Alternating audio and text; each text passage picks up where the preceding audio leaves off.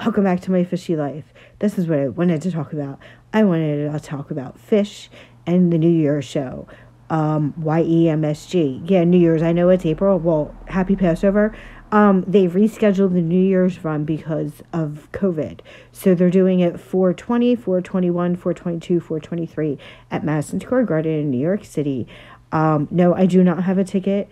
Um, no, I do not have money to buy a ticket, but if a ticket comes my way, I am going for sure, for sure.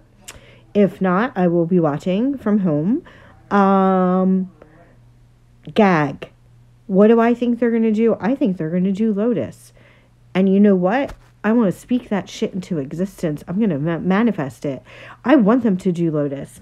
I was there for Soul Planet. And when they had the lights, like the wristbands with the lights that light up, dude, that shit was fucking amazing. When they have people on the silks, like Petrichor, or like with the umbrellas. Now, I love Pink. Pink gets me out of my Phish bubble, and she's been doing the silk for years. She mainstreamed the silks. Like, props to Pink. She's a badass. She's a phenomenal, phenomenal performer, singer, songwriter, musician, like all of it. Um, other and Natalie Merchant was a phenomenal performer, and Kelly Clarkson, and Phish, and that's it. That's all I want. Like, uh, yeah, I saw the dead back in the day, but like that's all I want. Um, and Trey, of course, Trey, Tab, all of that, and I think they're gonna do something with Lotus.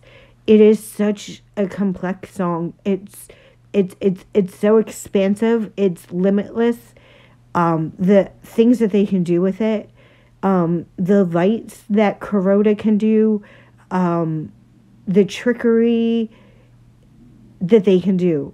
I'm so excited to see what they do. And what do you think they're going to do?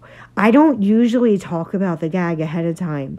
Like when they flew the hot dog over my head, in 94 i was i like pretty much almost missed it. Kaylee was like stace open your eyes look up. And there's a picture of us in the liner notes of a live one like the photo. Yeah there's a picture of me looking up.